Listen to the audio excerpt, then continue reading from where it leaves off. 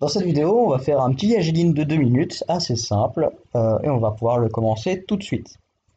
Déjà, je peux mettre l'indice 1 ici, l'indice 0, l'indice 3, comme ceci.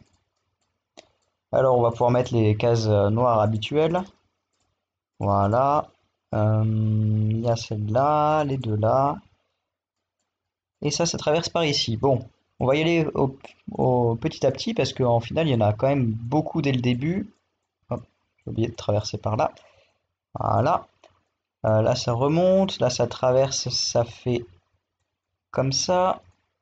Ça, ça descend. Là, on traverse. Et voilà.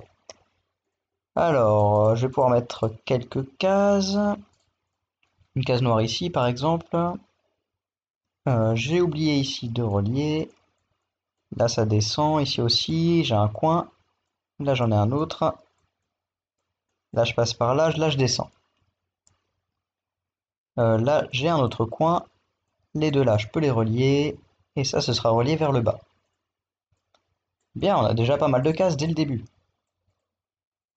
Euh, ensuite, euh, je dois avoir une case noire soit là, soit là. Si elle était ici, il faudrait que je retraverse vers le haut.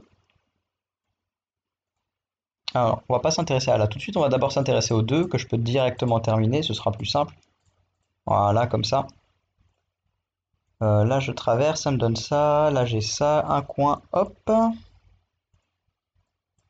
Voilà, là, j'ai encore un coin. Euh, et du coup, ça, je peux pas le relier par là. Donc ça descend, ça, ça fait un tour. Voilà.